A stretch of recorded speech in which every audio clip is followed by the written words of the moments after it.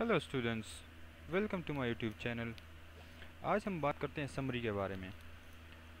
जब हम किसी दूसरे बंदे को किसी ऐसे स्क्रिप्ट के बारे में बताते हैं, जो कि उसने न पढ़ी हो तो उसके बारे में जब हम उसे एक शॉर्ट सी स्टोरी बना के बताते हैं, उस शॉर्ट सी स्टोरी को समरी कहते हैं।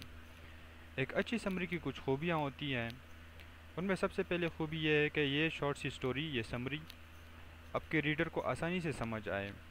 आपने वो सिंपल वर्ड्स में लिखी हो, वो बिल्कुल उस पर्सन के लिए क्लियर हो।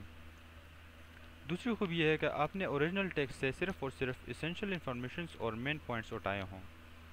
वहाँ से आपने एक्स्ट्रा इन्फॉर्मेशन जैसे कि डेट्स हो गए नंबर्स हो गए स्टेटिस्टिक्स हो गए और दूसरे जो एग्जांपल्स वगैरह होते हैं, वो आपने ना उठाए हों। आप अपनी समरी को बिल्कुल कंसाइज रखेंगे। थोड़े से वर्ड्स का इस्तेमाल करके आप अपनी समरी बनाएँगे। एक अच्छी समरी के लिए यह ज़रूरी है कि आप एक अच्छा पैराग्राफ स्ट्रक्चर मेंटेन करें। एक अच्छे पैराग्राफ के लिए आपने सबसे पहले टॉपिक सेंटेंस लिखना होगा, फिर सपोर्टिंग सेंटेंसेस लिखने होंगे, और लास्ट में जाके आपने कंक्लूडिंग सेंटेंस लिखना होगा। टॉपिक सेंटेंस में आप टाइटल आथर स्पीकर या जो क्वेश्चन होता है इन कंसिड्रेशन वो आपने एड्रेस करने होंगे। सपोर्टिंग सेंटेंस में आप जो ओरिजिनल टेक्स्ट के मेन आइडियाज़ होते हैं या मेन पॉइंट्स होते हैं, वो आपने कन्वे करने होंगे। यहाँ पर एक बात का आपने ख्याल रखना होगा कि ओरिजिनल टेक्स्ट में जो ऑर्डर आइडियाज़ का होगा, आपने उसी ऑर्डर्स को ले लेके समरी बनानी होगी। आप ऑर्डर को चेंज नहीं कर सकते। एक अच्छे, अच्छी समरी के लिए ज़रूरी है कि आप पैराफ्रेजिंग कर सकें।